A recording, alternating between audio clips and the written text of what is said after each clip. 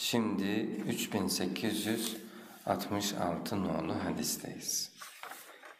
Zikru ilqaillahi celle ve ala en-nura. Allah celle ve ala'nın nuru bırakması, nur bırakması. Önceki hadiste gene bu kadar aynı var yani. Önceki hadis hangisi? 65 yani. 64 Buhari'de var. 3864 Buhari'de vardı. 3865 de yine Buhari'de var. Evet. Ve numarası 4663. Farklı numara. Birini, deminkini Kitabul Edeb'de verdi. Son okuduğumuzu Kitab-ı Tefsir'de verdi. Fesen babu fesenuyessiruhu lil yusra. Bab başlığını da ayetten seçmiş. Peki, yani bu okuduğumuz son hadislerle e, şu dikkatimizi çekti, daha önce çekmemişti en azından benim. Yani kullun müyesserun, her şey müyesserdir ifadesinin ayette de hem iyiler açısından hem kötüler açısından fesenuyessiruhu, fesenuyessiruhu diye her iki durumun da tesir üzerinden ifade edilmiş olması.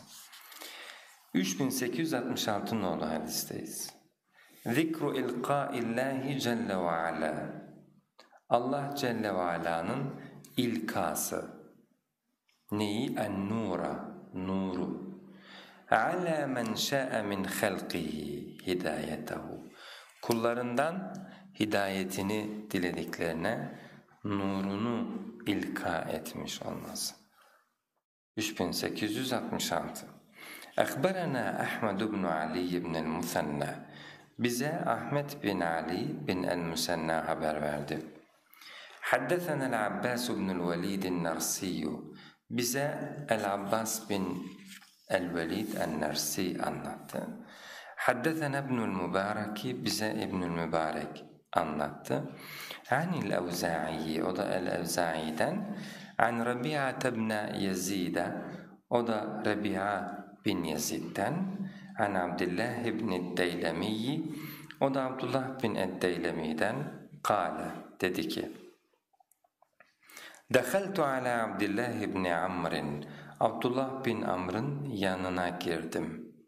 Fekultu ona dedim ki innehum yez'umuna insanlar iddia ediyorlar ki enneke tekulu sen diyormuşsun eşşakiyyu men şakiye fi batni ummihi şaki annesinin karnında şaki olandır. Fekale bunun üzerine Abdullah bin Amr dedi ki uhillu li ahadin yekzibu aleyya Kimseye benim adıma yalan konuşmasına müsaade etmem. İnni semi'tu Rasulallahi sallallahu aleyhi ve selleme yekulu. Ben Resulullah sallallahu aleyhi ve sellemi işittim. Diyordu ki İnna Allaha halaka halqahu fi zulmetin. Allah azze ve celle yarattıklarını bir zulmette yarattı. Artık bilmiyoruz ki bu anne karnındaki zulmet mi onu mu kastetti? Çünkü ayette fi zulumatin thalath üç zulmette diyor anne karnındaki yaratılışa tarif ederken. وَأَلْقَى عَلَيْهِمْ مِنْ نُورِهِ Ve onların üzerine nurundan ilka etti. فَمَنْ أَصَابَهُ مِنْ ذَٰلِكَ النُّورِ اِهْتَدَى Kime Allah Azze ve Celle nurunu isabet ettirmişse o kişi hidayet bulmuş bir kimsedir. وَمَنْ أَخْطَأَهُ Kime isabet ettirmişse, ettirmemişse o nurundan dalle o kişi dalalette olan bir kimsedir. فَلِذَٰلِكَ أَقُولُ İşte bu yüzden diyorum ki ceffel kalem kalem kurumuş an ilmillahi celle ve ala Allah'ın ilminden kalem kurumuştur. Bu rivayet nerede var? Buhari'de yok, Müslim'de de yok. Evet, bu rivayetin ifadesi böyle Allah'ın nuru kime değdiyse o hidayet buldu. kime e, kimden saptıysa, değmediyse o da dalalete saptı şeklindeki ifadesi. Yani bazı sahabiler de bazı veya bazı tabiiler bazı rivayetlerden anladıklarını belli bir istikamette ifade etmiş olabilirler. Dolayısıyla zaman zaman rivayetlerde e, Cenab-ı Hakk'ın ilmi dolayısıyla gerçekleşen bir netice, ilmi dolayısıyla ortaya çıkan bir yazgı hususu e, konusunda böyle yanlış anlamaya meylettirecek ifade biçimleri yok değil. Ancak bunlar dediğim gibi genel itibariyle ele alındığı zaman özellikle sahih rivayetler, daha sahih rivayetler bağlamında İbn İbban'ın başlığa attığı durum ortaya çıkar. Ne demişti başlıkta? İhbaruhu sallallahu aleyhi ve sellem amma esta'farallahu celle ve ala bi'ilmihi. Allah'ın ilmi dolayısıyla kendisine mahsus, kendisine münhasır kıldığı hususlar. Bu Cenab-ı Hakk'ın bizim hiç bilmediğimiz, kendisine münhasır, kendisine özgü ilmi neticesinde gerçekleştirdikleri bu yazgılar ve bu takdirat Cenab-ı Hakk'ın gayb ilmi sayesinde olan bir şeydir. Yoksa Allah Azze ve Celle bizi iyi olmaya yahut kötü olmaya baştan zorlamış ve bizi buna çevretmiş kesinlikle değildir. Eğer İslam'ın iddiası Hz. Peygamber'in bu ifadeleriyle kastettiği böyle bir şey olsa her hadisin sonunda yer yer o zaman boş verelim, amel etmeyelim şeklindeki ifadelere ve benzeri itirazlara hak verirdi. Evet gerek yok. Zaten e, Cenab-ı Hak ne dediyse onu yapacaktır. Sizin çabalamanızla olacak şeyler değil bunlar gibi sarahaten kişinin iradesini nakzeden ifadelerde bulunması beklenirdi. Tam tersi kişilerin iradelerine yüklendi, iradelerini teşvik etti bu tür sorular gelince. Hayır siz amel etmeye davranın, amel edince anlarsınız dedi. Peki, buyurun efendim. Hocam, e, genel İslam şablonu yani Kur'an'ı, hadisleri, İslam'ın e, penceresine, bakış açısına tam olarak kavramamış veya bu eğitim almamış kişilere mesela bu hadisler okunduğu zaman ki özellikle tabii yeni genç nesle bunlar yapılıyor. Çok arkadaşlar şey. Yani bunu okuyor ya diyor işte böyle bir şey olabilir mi diyor. O zaman bunlar topyekun kaldı. Yani biz bunu okuduğumuzda bunu böyle oldu. Yani bunun kader açıklayan bir husus olduğunu anlıyoruz. Yani Allah'ın ilminin e, tezahürü olduğunu açıklıyor. Ama işte bazı hocalar, hoca kurduğu kişiler bunları açıklayarak işte bakın bunlar var, işte bunlar zaten İslam şeyine aykırı, mantığına aykırı, işte adalet mantığına aykırı değil. Ciddi anlamda gençler, gençlerden kastım hani okumuş, e, mühendis olmuş, avukat olmuş kişilerde bundan da, e, bunu öyle sürerek hadisleri komple inkara e, yol açıyor. Bunu da önüne geçilmesi için gelen İslam mantalitesinin anlatılması okullarda ilk etapta, daha sonra bir şekilde medyada vesaire anlatılması lazım. Anlattığınız zaman yok diyor kardeşim. Bak bu hoca böyle diyor. Hoca dediği için dinlediğiniz e, aynı şekilde hocamızla çekip aldığı kelimelerden bahsediliyor. Bunun yani toplumda çok ciddi yara var aslında. Evet. Ee, şimdi Cenab-ı Hakk'ın gayb ilmi Allah'a özgü bir ilim. Dolayısıyla da e, biz insanların bunu anlamakta zorlanması yadırganmamalı. Ama bu e, anlama zorluğunu dayanak yapıp konuya dair hadisleri veya o hadisleri de dayanak yapıp bütün hadisleri e, reddedebilmeyi e, reddedebilmeye çabalamak bu bir fırsatçılıktır. E, ilim erbabı bu türden davranan kimselerin e, kadirini, kıymetini bilir. Her ne kadar tribünlerde bunlar kendilerine alkış ve karşılık bulsalar da neticesinde, nihayetinde tarihçileri doğru yazılır. Yani zamanın reyting adamı, fırsatçı bir kimseydi, şunlara şunlara meyletti, bu tür şeylere rağbet etti diye. Dolayısıyla bir Cenab-ı Hak e, tarih doğru yazılır ama arada birileri mağdur oluyor mu? Korku budur. İşte gençler diyorsunuz vesaire. Hayır. Allah Azze ve Celle dezenformasyonu insanların nihai tercihlerini bağlayacak şekilde e, ortada bırakmaz. Düzeltir. Yani bugün öteki ondan öyle der, yanlış anlar gibi olur ama mesele gündemine girmiş olur. Gündemine girmesi itibariyle iyi bir şeydir. Hiç bilmeseydi bizce daha kötüydü. Hani dün bir resim görmüştüm. Yazıyor ki camide ayakkabının çalınması bir musibettir. Yani kötü bir musibet. Küçük ama. Fakat diyor ayakkabının camide hiç görünmemesi. Yani diyor camide ayakkabının ortadan kaybolması bir musibettir. Ama hiç görünmemesi daha büyük bir musibettir. Şimdi böyle bir konunun hiç bilinmemesi, hiç gündeme gelmemesi bizce daha büyük bir musibettir. Birileri farkında olmadan inkar ettirebilmek için ee, bizim hocalarımızın hatta gündeme getirmekten korktuğu hadisleri ama inkar edebilmek maksadıyla ve ettirebilmek maksadıyla cesaretle getiriyorlar. Bunlar çeşit çeşit konular biliyorsunuz. Ee, dolayısıyla da gündeme gelmiş olması bizim açımızdan sevindiricidir. İlk anda red dalgası oluşabilir ama bu dinin sahibi Allah Azze ve Celle'dir.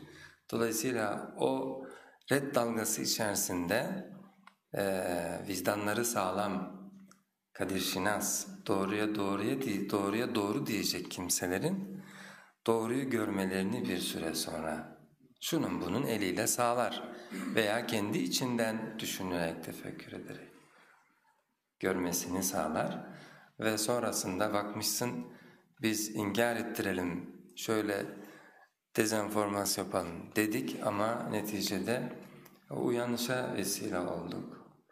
Yani bu dediğim şey geçmişte yaşandı. Yani yüzyılın içerisinde hatta önceki yüzyıldan bu yüzyıla intikal edecek şekilde oryantalist hamleler, müsteşriklerin hamleleri aslında bugünlere bir din bırakmamayı hedefliyordu.